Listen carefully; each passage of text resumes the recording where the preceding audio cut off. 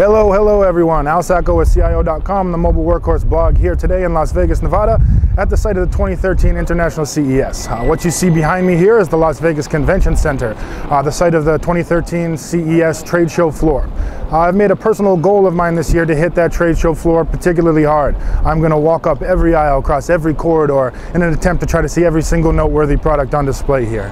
Now, if you're even a little bit familiar with CES, you know that could be an extremely daunting task, but it's a task I feel like I'm up to. I got a brand new pair of shoes, I got a great backpack with lots of padding on the back and the shoulders, and as they say, where there's a will, there's a way.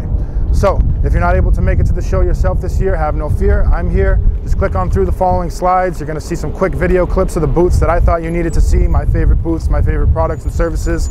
So yeah, click on through, uh, sit back, relax, check out the videos, let me know what you think in the comments, and I hope you enjoy.